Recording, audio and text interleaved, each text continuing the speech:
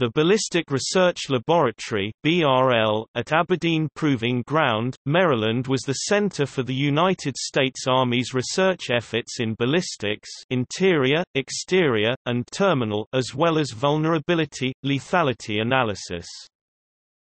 In 1992, the BRL's mission, personnel, and facilities were incorporated into the newly created Army Research Laboratory, and BRL was disestablished.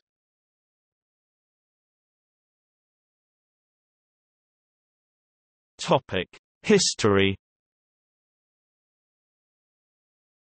According to a pamphlet published in 1955 by the U.S. Army's Ordnance Corps, BRL was established by the Ordnance Department Ordnance Corps because they recognized that ballistics, the study of the motion of projectiles, provides a rational foundation for the design and development of ordnance.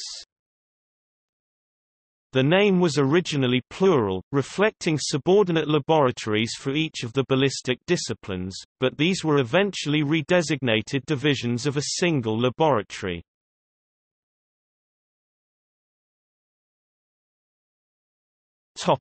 Advisors and consultants Over the years, and particularly during World War II, BRL's permanent technical staff was augmented by a number of eminent scientists and engineers serving in various capacities. Among those was noted American astronomer Edwin P. Hubble who served as chief of the external ballistics branch of the BRL during which he directed a large volume of research in exterior ballistics during the war which increased the effective fire power of bombs and projectiles. His work was facilitated by his personal development of several items of equipment for the instrumentation used in exterior ballistics, the most outstanding development being the high-speed clock camera, which made possible the study of the characteristics of bombs and low-velocity projectiles in flight. The results of his studies was credited with greatly improving design, performance, and military effectiveness of bombs and rockets. Other included members of the Scientific Advisory Committee which was established in 1940. Among its member were other consultants included astronomer Dorrit Hoffleit, chemists John Gamble Kirkwood, recipient of the Langmuir Award, George Kistiakowsky, recipient of the Medal for Merit, Medal of Freedom, National Medal of Science, and the Priestley Medal, and Franklin Long, computer scientist Herman Goldstine recipient of the National Medal of Science, mathematicians George Carrier, recipient of the National Medal of Science, and Richard Courant, mechanical engineer Howard Wilson Emmons, and physicists Walker Bleakney, a pioneer of mass spectrometry, Joseph O. Hirschfelder, recipient of the National Medal of Science, Norman Ramsey, Nobel laureate, Robert G. Sachs, founder and director of Argonne National Laboratory, and L.H. Thomas, the first fellow in IBM's Watson Research Center.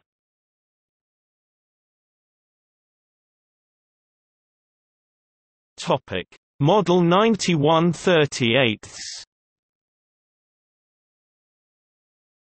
On March 27 of 1964, the U.S. Army's Ballistic Research Laboratory, according to the 36th U.S. President's Commission commonly known as the Warren Commission, played host to one of the most famous rifles in U.S. history. On that date, three marksmen test-fired a Mannlicher Carcano Type 38, the rifle used by Lee Harvey Oswald to assassinate President John F. Kennedy on November 22 of 1963. Only one of the three expert marksmen was able to fire three shots somewhat close to the established official time limit attributed to Oswald.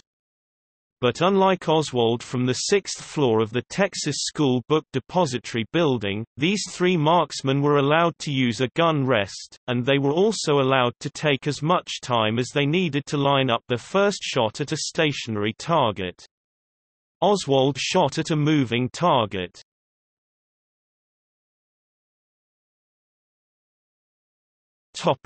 Computers BRL played an important role in the history of computer development, sponsored the development of ENIAC, widely regarded as the first general-purpose electronic digital computer, to aid the creation of firing tables for artillery and mortars, developed and built several generations of computers, EDVAC, ORDVAC and BRLESC, developed BRL-CAD, a solid geometric modeling system, now open-sourced, the network ping utility was authored by Mike Muuss of BRL in December 1983 to troubleshoot network problems.